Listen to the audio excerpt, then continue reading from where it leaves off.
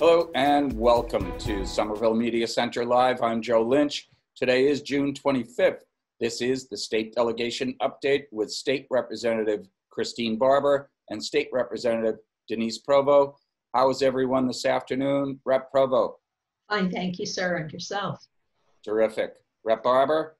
Doing doing okay. Glad to be here. Thank you, Joe. Good. Good to hear it. Uh, we are in full swing of summertime. Um, the state delegation is uh, working diligently, trying to figure out A, where's the money going to come from for all of this? And B, how are we going to spend it and how we're going to track it? But let's go over to um, State Rep Provost first. Uh, Denise, you want to talk a little bit about daycare because that is a critical piece of people going back to work, finding uh, daycare for their young ones it is also something that will be critical when the school systems itself thinks about opening in September.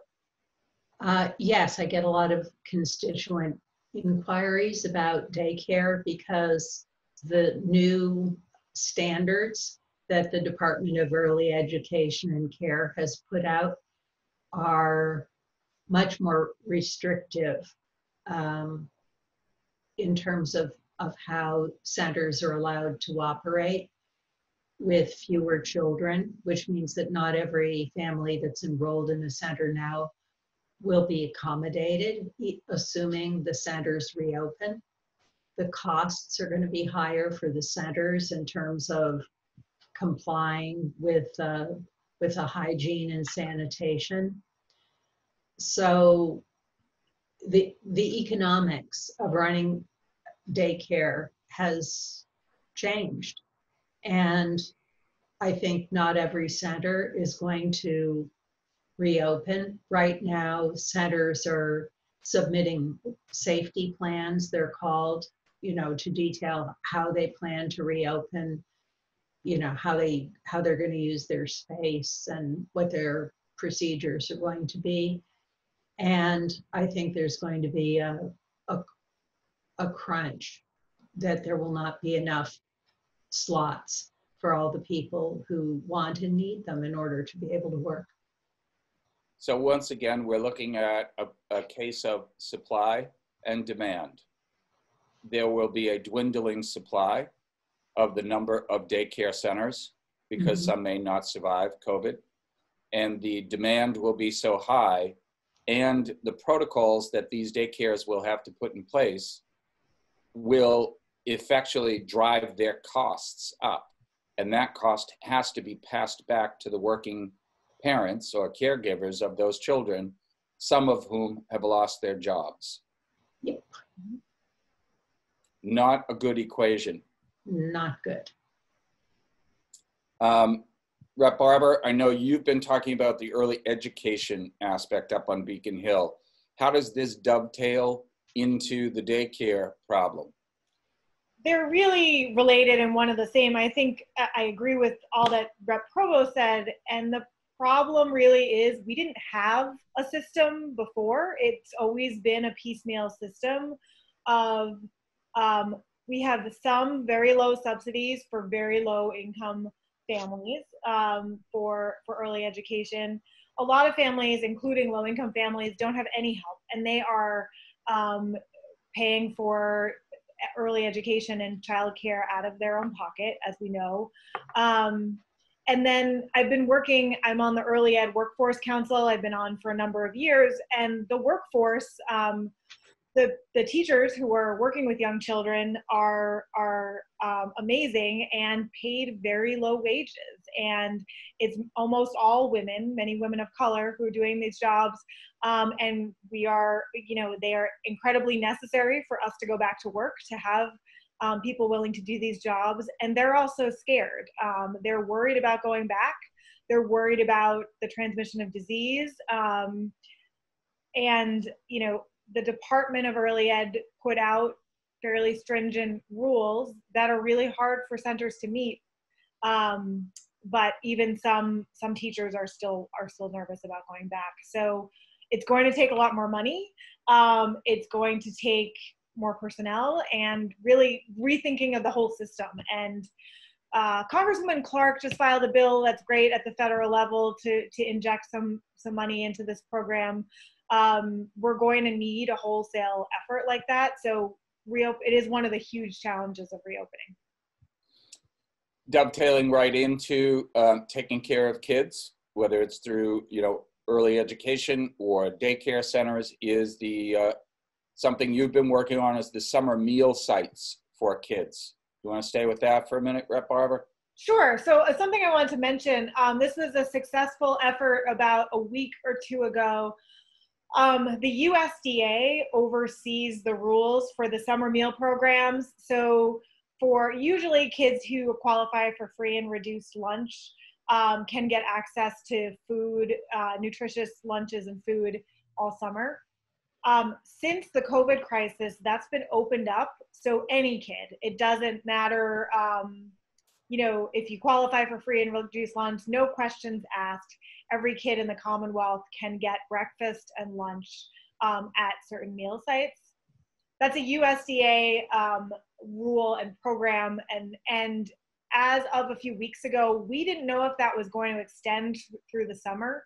And a lot of our meal sites were at risk, um, especially I had a number of sites in my district in Medford that were at risk of closing. Um, and so I led an effort, and Rep Provost was a signer and a big supporter of um, reaching out to the USDA and really pushing them to waive that rule and let the meal sites stay open. So happy to say we got the notice a couple days ago that um, there will be summer meals throughout the whole summer um, for kids at all of the sites that have been running. So it's a it's a you know a good to have small wins in these challenging times, and it's really been an important way for kids to to have some connection and of course to get nutritious food.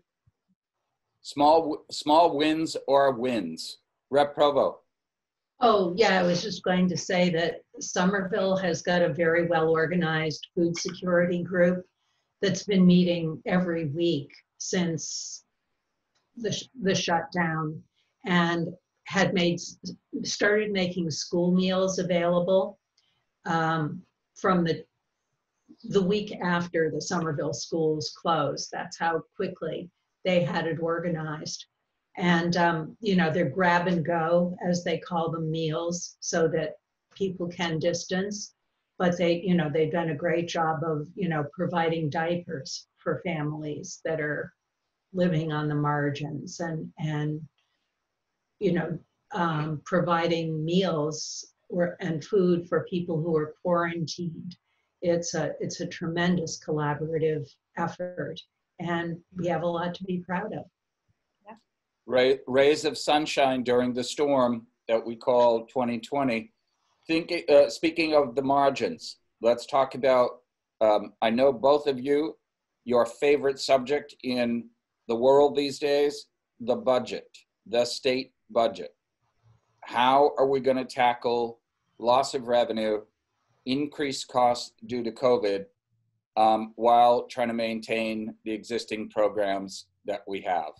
I'm going to ask Rep Provost if she wants to take it away because there is an announcement that you gave to me before the show about a billion dollars in COVID related uh, funding. Well, that's that's separate money. This was a bill that Rep Barber and I voted on yesterday in a formal session of the House, over a billion dollars of COVID related expenditures with the expectation of reimbursement from the federal government. Um, but I think when you spoke of the budget, you were talking about the state's annual budget. Yes. And the answer to how we're going to approach that is in the short run, incrementally. Uh, the governor has filed a 112 budget, basically a, a budget to take us through the next month.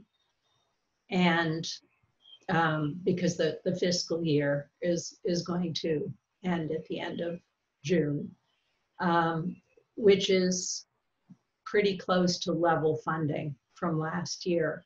Um, just a few little tweaks, and we're told that there might be another uh, 112th budget coming up after that one to give us time to get a better take on what our revenue picture looks like whether the HEROES Act, which has been passed by Congress and is stalled in the Senate, is going to go through because that could potentially give a lot of relief to um, state and municipal government, which was not in the CARES Act to any significant extent. So on the budget side, um, I understand what they're doing, and I think a lot of the municipalities are also looking towards a 112 budget because some of their funding flows from the state budget. Mhm. So I, I want to try to be careful on on weaving these two pieces of what we're living with. There are actually three pieces that we're living with. We're living with a global pandemic. We are living with grassroots movements to defund the police. And I hmm. assume that Governor Baker is going to get the same pressure that municipalities are getting is to defund certain portions of the state police or certain portions of what's provided to police. I know um, Mayor Walsh, Mayor Curtatone, a lot of the mayors are dealing with this right now. So I guess I want to be careful and not to conflate a lot of these, although they are connected. So on the budget side from the state, we're looking for level funding, a 112th budget, but Mhm. there's a lot of uncertainty about the revenue side of this thing. So do, are you allowed, uh, uh, just a technical question, on, under the state guidelines or rules, are you allowed to carry that 112th budget for many months? I don't know that it's addressed specifically in the general laws. Uh, What is addressed specifically in the general laws is that our budgets have to be balanced. Expenditures and um, revenue and expenditures have to be in balance. And if revenues um, are coming in short, then the governor is required to make mid-year cuts, called 9C cuts. So nine, nine C cuts, I got the gist of that, but I- I guess I'm looking at it from the 112th standpoint. If all of a sudden we realize that we can't get a balanced budget at the end of July, can you then call for another extension of the 112th budget? And then someplace in August, you realize the revenues have plummeted can he then take a scalpel to the budget and start cutting at that point? I I could tell you, my read of the statutes is that if revenues are insufficient to pay appropriations, then the governor has a duty to make cuts. It's, um, it's that simple. Um, as to exactly the timing, I think there's some discretion there. Um, but you know, the the one thing that's strong about the Massachusetts economy right now is that we have a sizable rainy day fund. You know, we have put put money aside. Uh, and I imagine that a certain amount of that will be drawn on to balance the budget in the absence of new revenues. Um, but you know, being careful not to jeopardize our, our credit rating. Do you have? I- I didn't prep for our budget talk uh, well enough because I don't know how much money is in the Massachusetts Rainy Day Fund. How much is in there? Three and a half billion, right? 3.5 billion? It's about that, yeah. Three and a half billion. Um, if things don't turn around quickly on terms of the revenues coming in, you could be dipping into that probably in the late summer, early fall. Yeah.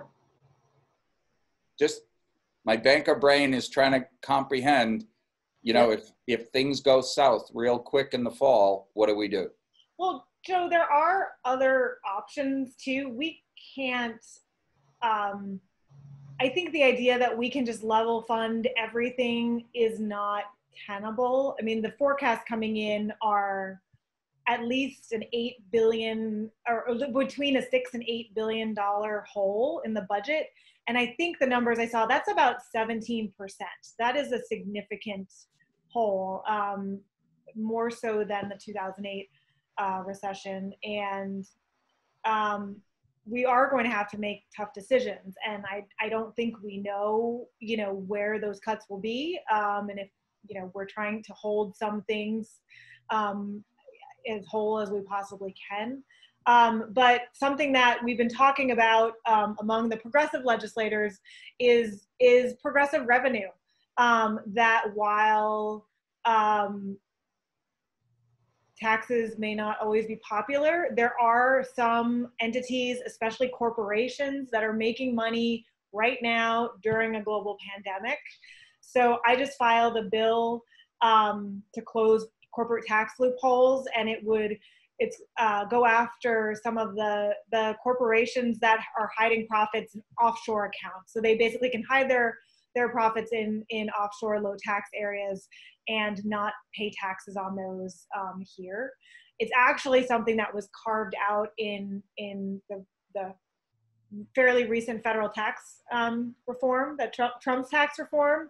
But this was actually a good piece of it that carved out this offshore um, profit. It's actually the acronym is GILTI, um, Global Intangible low tax income, I believe is what that stands for. Um, and by increasing the amount Massachusetts taxes this, we could raise the estimates are about a half a billion dollars. So that could go a long way to you know funding education and funding healthcare and all of the things that we need to be funding right now.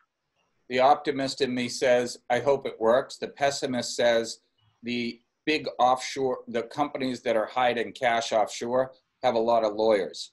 So how how realistic is it that we would get that type of revenue in time by the end of the year? Um, there's always yes, corporations are always good at stacking the deck against us. So I won't say it's not an uphill battle, but it is something that other states have done. Of course, I'm not remembering off top of my head what states, but there are a number. So the feds did this, um, as I said, in Trump's tax um, tax bill, which you know was a giveaway to lots of groups, but this was one good piece of it. Um, and some states have followed suit. So we could we could do that in Massachusetts if we chose to. It's a you know, matter of choices. Are we going to tax corporations that are making money now, um, or are we going to cut teachers and cut you know education? I think those are choices that we may need to make. Well, this is uh, one not wealthy person's um, opinion. I've always liked the idea of taxing the rich more. Right. I've always liked it. You don't get any opposition from me. Let's weave that piece of it into. Um, I happen to watch some of the budget hearing last night here in Somerville, and there were many, many speakers from the public calling for the. Um, I'm, I'm not going to use the word because I think it, it, it is misunderstood by a lot of people when we say defunding the police. Um, I, am not going to use the word because I, I, I think it sends the wrong message. I think what this group is looking for to do with this current budget in the city of Somerville is a commitment from the councilors and the mayor of a reallocation of a lot of the money that the police get today for such things as military grade weapons, for such things as um, uniforms that make them look like stormtroopers out of a Star Wars movie.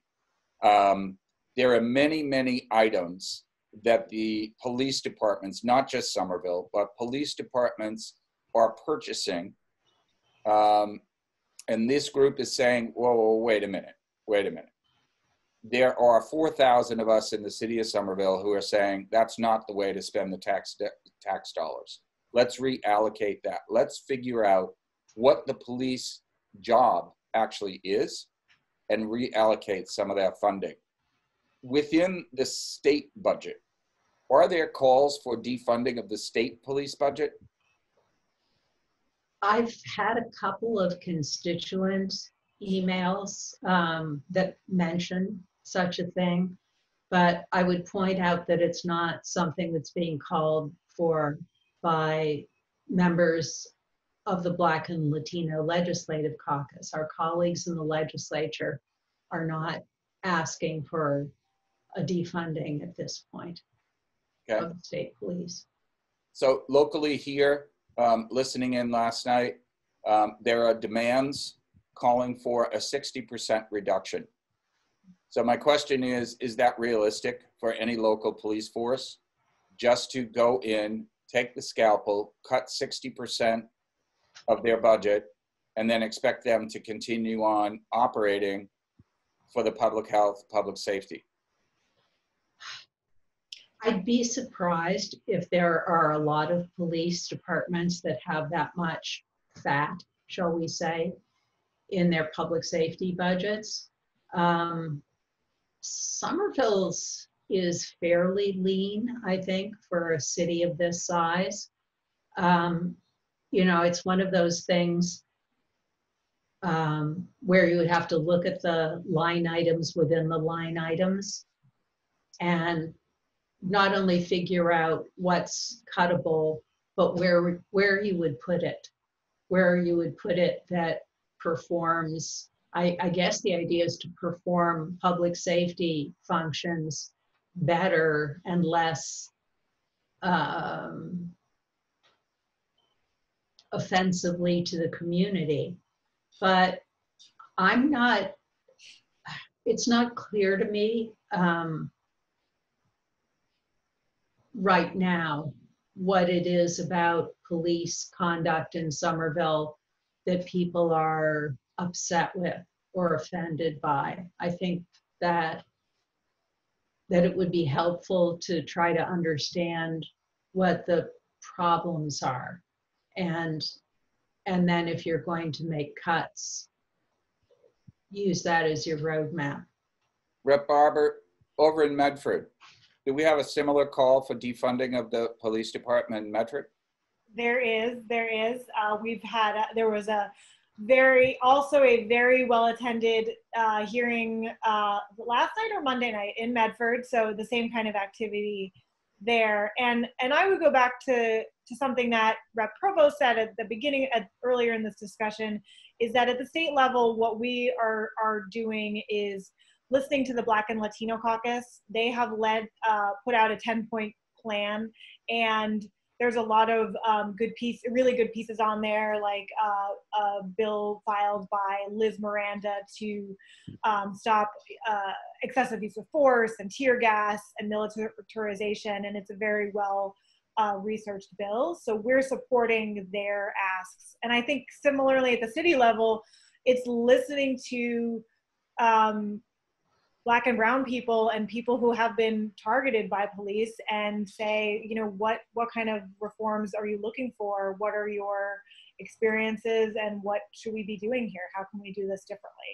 And um, so in in medford there's a group called mobilize medford that has um, just started organizing and they've been incredible in how many people they can bring together and how many conversations they've been having and letters of um, suggestions they're putting out to the city.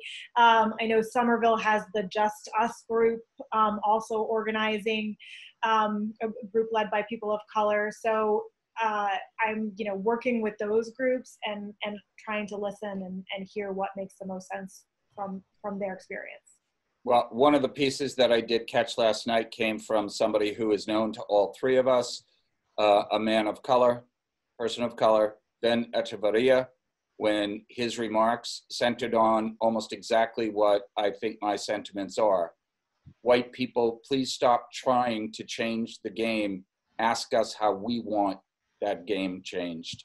So, um, with no disrespect to a lot of the allies that ha- and friends that are trying to move this along, um, I think it's time we, and this is me, no disrespect, reps, this is me. We as white people have to shut up and sit down and listen to what black and brown people are saying. It's all good to give support, but five hours, this is mine, five hours of a lot of white people saying, this is what we want you to do, didn't cut it with me last night. I'm getting a signal here that we have some time left. Medicaid, that's my, my thought. Medicaid bill, if you want to talk about that. Sure, it's a big transition here, but um, it is related to COVID and it, and it also is an equity piece. Um, so, as some people know, um, um, if for people who use Medicaid, especially for end of life care, so it could be nursing home care, but it could also be community home care at, at your end of life. Um, when when a family member passes away, uh, Medicaid goes after the estate of that family member, and sometimes that can mean taking the house um, and pretty um, draconian ways of, of recovering money for that care. It's been especially egregious during COVID, um, partly due to many unfortunate deaths that have happened, and also because we're not um, out, we can't interact in the courts in the same way. There's been some real um, there's been some terrible stories about estate recovery. So I just filed a bill with Senator Comerford from Northampton to um, stop some of the more egregious uh, ways of taking people's estates. Um, and it's something that we're working closely with the administration on. So that's my As quick somebody- plug on that. Yeah. Thanks, Christine. As somebody who faced that many years ago with my own parents, plow on because it's just patently not fair for somebody to lose the most valuable asset they have because of a health condition or long-term nursing. And Massachusetts is actually worse at this than most other states. While we're good on healthcare and a lot of things, this we are not good at. So it's a place we have a lot of room to grow. Rep Provost, parting thoughts before we take our leave for this week? Well, yes, um, you know, thinking about folks who lose their homes because the state is recouping what it's spent uh, on their health care makes me think of the what I fear is a coming wave of foreclosures and evictions as individuals are unable to get current with their bills for, for housing, their mortgages, their rent payments. Uh, and that's another wave that's going to hit us. I'm not sure we're prepared for it. Let's come on back in a couple of weeks or next week and we'll talk about it some more. Okay, I want to thank you both thank you. for the Somerville Media Center Live with State Representative Christine Barber and State Representative Denise Provost. As always, stay safe, stay informed. We'll see you next time.